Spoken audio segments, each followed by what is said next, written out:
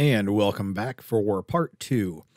Uh, with the gun and the paint both warmed up, I threw a piece of cardboard down, took them to my basement, and started hitting the base gun with the base coat.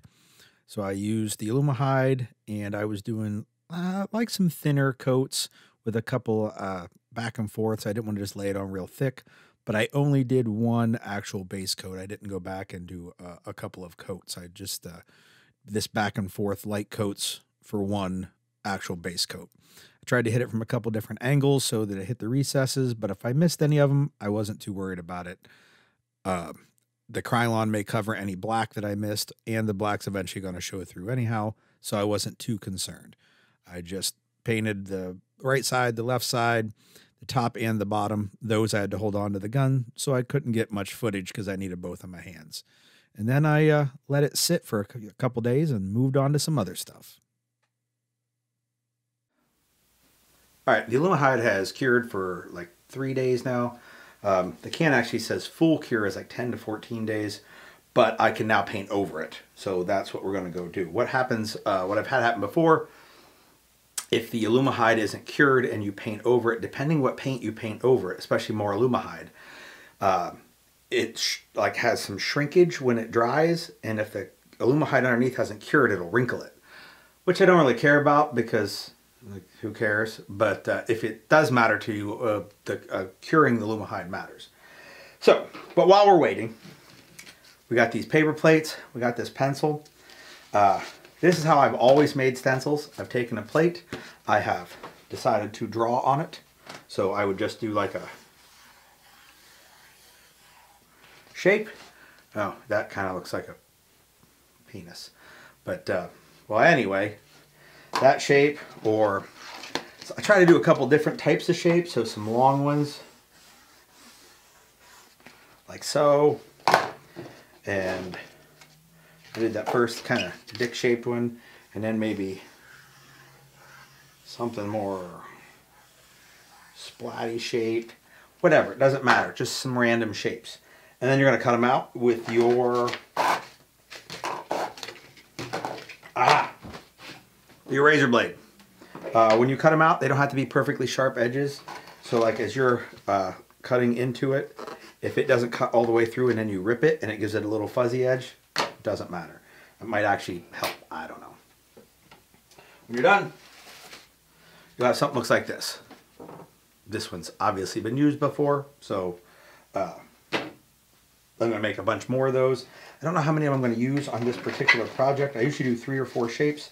I tend to also, uh, on one of them, do like an extra little kidney bean shape or a little circle so that I add a couple small parts if I want.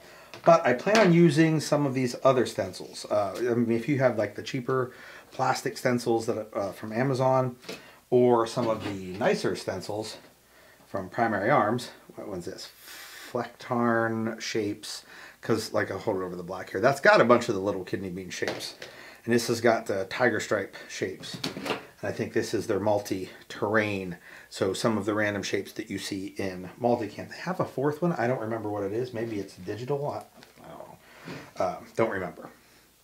But uh, the nice thing about these is if you want a nice hard edge when you have your gun and you lay it over it, it will lay flat because it's soft. The downside is if you only want one of those shapes, you're going to have to find something to cover the other shapes with while you're spraying it. So it'd be a two-handed job.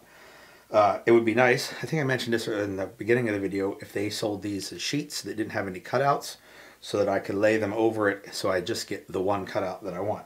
But they don't, so I'm going to try and see what I come up with.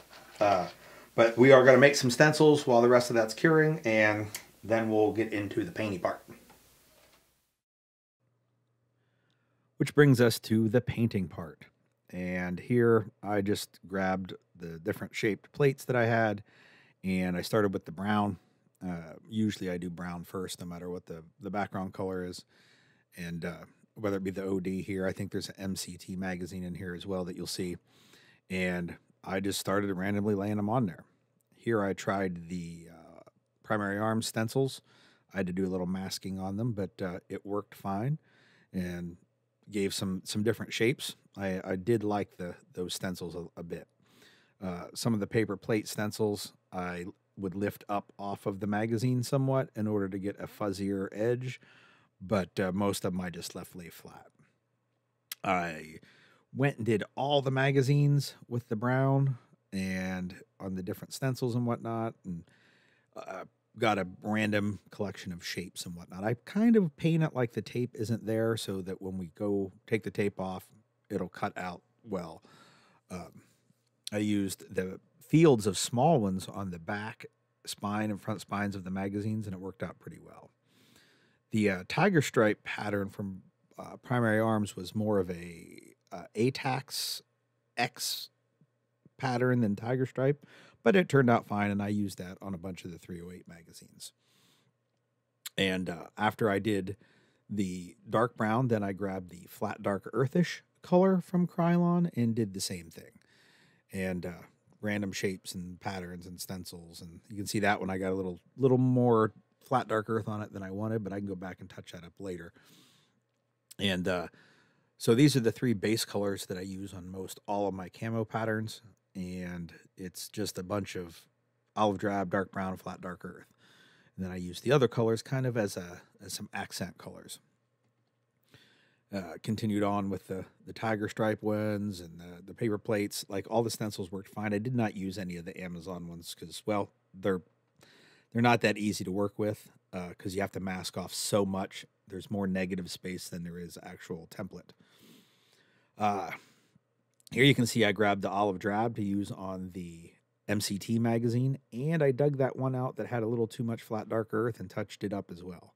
Otherwise, the flat uh, the Krylon OD I didn't use a lot. Now I use this lighter green from Krylon, and I really like this green. This is where Krylon blows the doors off of Rust-Oleum.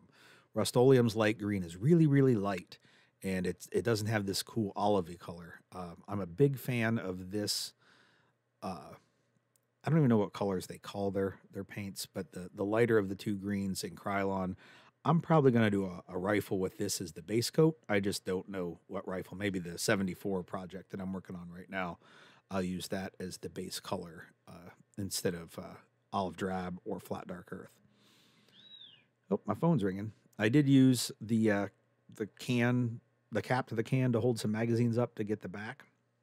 And then last, I grabbed the lighter color, which is kind of like a khaki.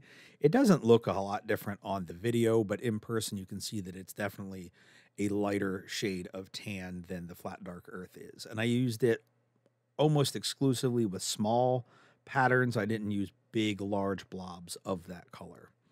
And uh, now we're moving on to the gun, I guess. Now there's not really a whole lot left to talk about. Uh, I did find a better position to use the camera. But as you can see, I kind of kept the same premise. Uh, I did the browns first, and uh, the paint dries quick enough, and I didn't really care if it got like scratched up or whatever. So I just kept flipping it around and adding the colors top, bottom, whatever I wanted, uh, shape wise. And like I put the stock back on, I untaped the grip. At this point, I was trying to make sure everything had a good coverage of pattern. I did keep the stock all the way to the back. So no matter where it's running on the buffer tube, there'll still be some pattern showing. Uh, I added some to the bipod as well. Uh, it has a flat dark earth base, so the colors I used on it were a little different. As you can see, I used that other green, which doesn't stand out a lot, but it does give some character uh, on top of the olive drab, and I really like that color. Uh, the more I look at it here on the video too, I the more I like it. So uh, some greens, some browns, uh, flipped to some flat dark earth, and uh, my memory card filled up before I finished, but I thought I had enough footage, so I didn't bother uh, putting a changing out the memory card to do the light khaki. I just went ahead and kept on painting and grabbing different patterns and different templates, whatnot, and started working on the rifle. Uh, as you can see, I tried to get a nice mix match of all the different colors. And if I had too much of any one color, I could always grab the olive drab Krylon and touch up in case I got too big of like a big blob of khaki or something. I could just hit it with some uh, OD and carry on.